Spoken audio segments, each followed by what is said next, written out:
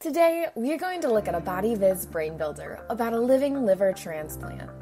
A living liver transplant is when a living person donates a part of their liver to someone in need.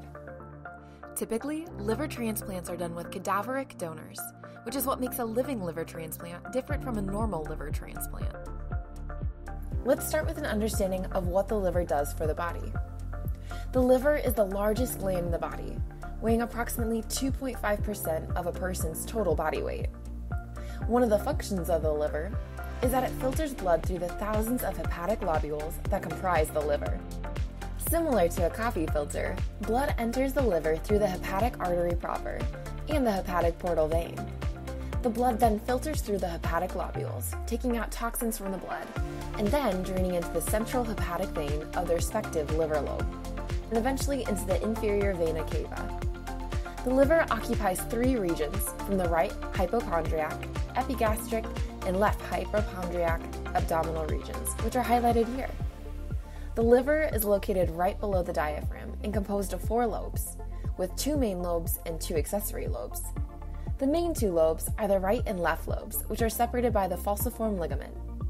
The accessory lobes are the quadrate and caudate lobes, the quadrate lobe is seen to the left of the gallbladder on the inferior or lower side of the liver.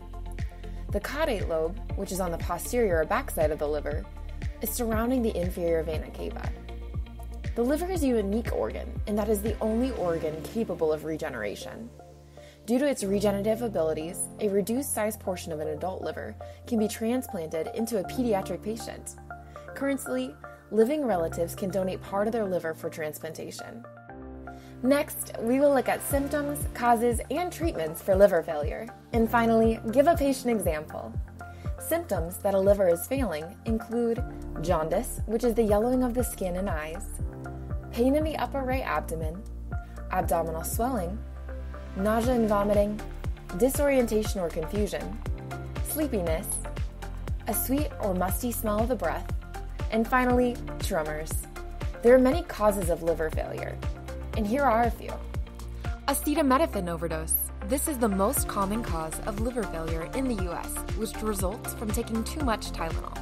Prescription medications and herbal supplements, the hepatitis virus, different toxins, autoimmune and metabolic diseases, cancer, shock from an overwhelming infection can impair the blood flow to the liver, a heat stroke, and lastly, genetic and hereditary liver diseases. Treatments for liver failure are limited and depend on if the liver can recover or not. Medications can be used to reverse poisoning from overdose to reduce liver damage. But oftentimes, liver failure cannot be reversed, in which case, a liver transplant may be the only option. Finally, let's take a look at a patient example. You receive your patient's file and take a look. Age 10, gender male, chief complaints decreased energy and appetite, with a general unwell feeling. You invite the patient into your office for an examination. You immediately notice his yellowish complexion compared to his parents and see yellowing in the sclera of his eyes. You ask how long the patient has been feeling unwell, and he reports that today is day four of feeling unwell. You ask about any medications, supplements, or acetaminophen the patient has taken, and their parents report none. You send for a blood and urine samples, as well as an ultrasound of his liver. The results show failing of the liver, and you diagnose the patient with Wilson disease, which is a rare genetic disorder that can cause liver disease. The patient is put on a waitlist for a liver transplant when his aunt agrees to donate part of her liver as a living liver transplant. This is a classic example of a liver failure and a living liver transplantation.